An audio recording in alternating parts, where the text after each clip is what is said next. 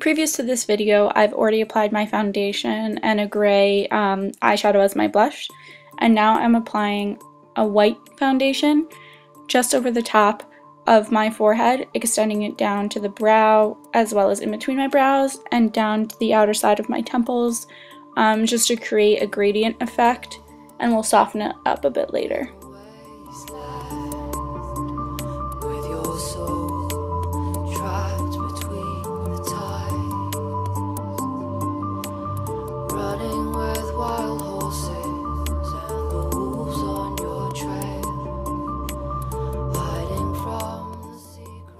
Now using a white matte eyeshadow, we're going to take a big brush and just pat it over the white foundation that you just applied. This will give it a softer look and make it appear more white and really bring out that tone.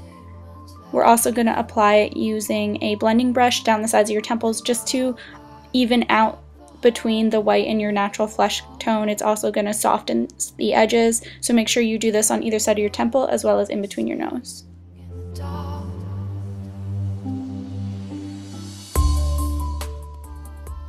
We're going to now prime our eyelid and use that same white eyeshadow that we just applied to the upper portion of our face all over the lid.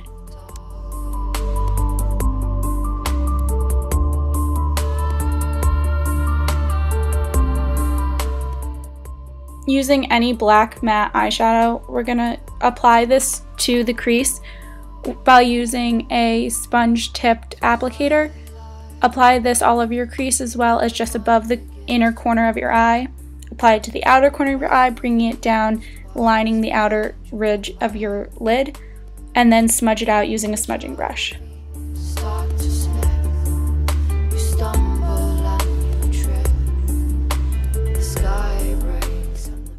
We're going to take a dark gray shimmer and apply this to the outer edge of your eye where the white peeks through between the interior of your eye and the exterior of your lid. Taking a slightly lighter shade of silver, we're going to apply this to the inner side of your eye, making sure it reaches to your inner corner as well as all the way up to that black that traces your corner.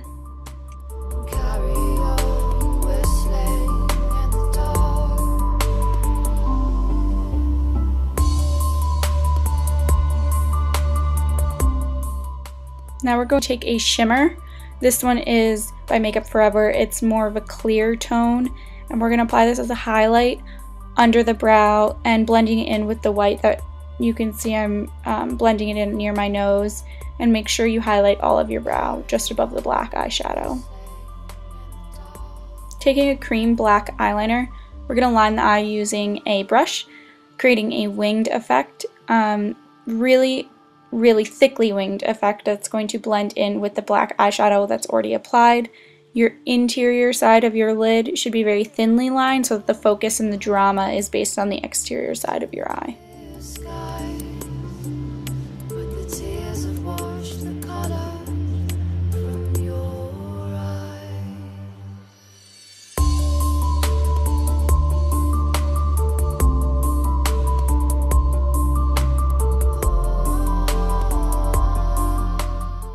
Taking that same dark gray, you're going to line your bottom lashes as well as you can mix it with some black and then you're going to draw that dark gray just under the wing that you've just created to give it a little more drama and kind of a peekaboo effect in the outer corner of your eye.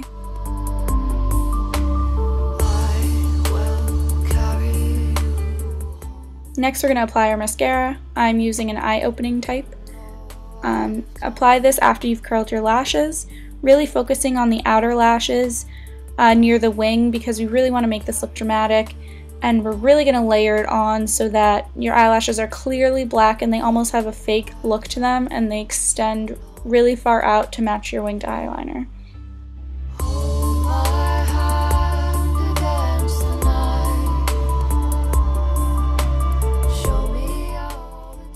I'm using a MAC mineralized illuminator that I'm going to apply to the center and bridge of my nose as well as just between my brows. This is going to really bring the light and focus in on the bridge of my nose so that way it looks slimmer.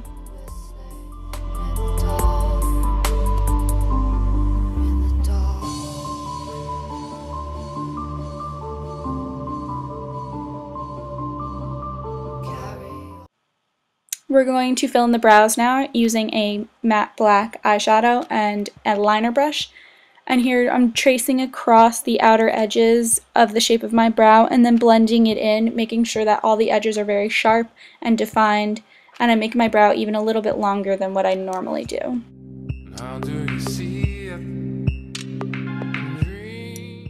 Taking a black eyeliner pencil, we're going to line the lips um, you can really do this pretty easily because it's black, so it's easy to look at. And we're also going to fill in the lips with this black color, so if you mess up, it's not a big deal.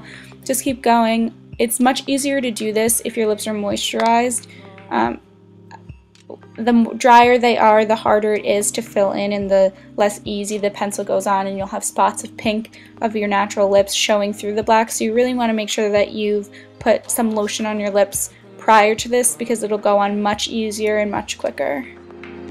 Like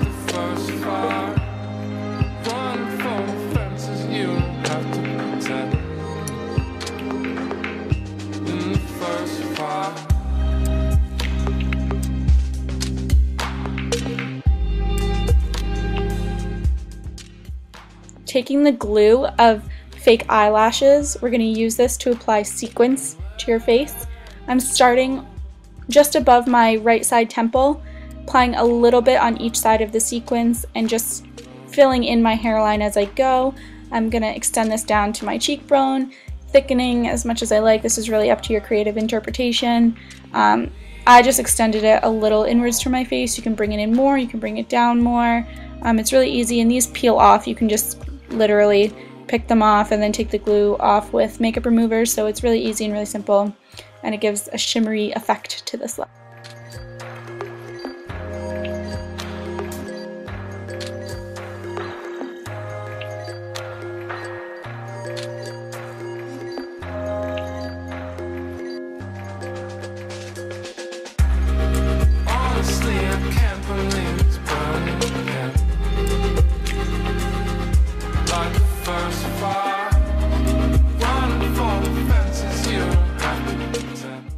Once you are satisfied with your sparkles, this look is complete.